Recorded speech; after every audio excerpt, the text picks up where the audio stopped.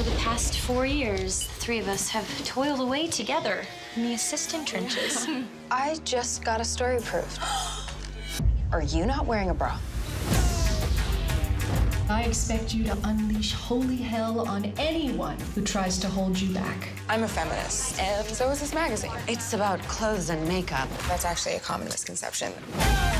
In the club with my bad bitches. Any problems with the JJ? Yeah, it's not 2006. Do it like Bonnie and Clyde. Oh, wait, is that him?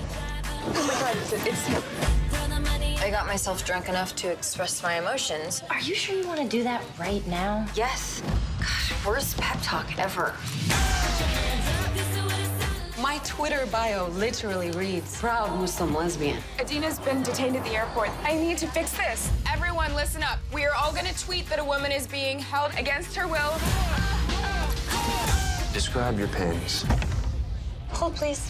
How can you not tell us that you're having sex with Richard Hunter? I can screw whoever I want.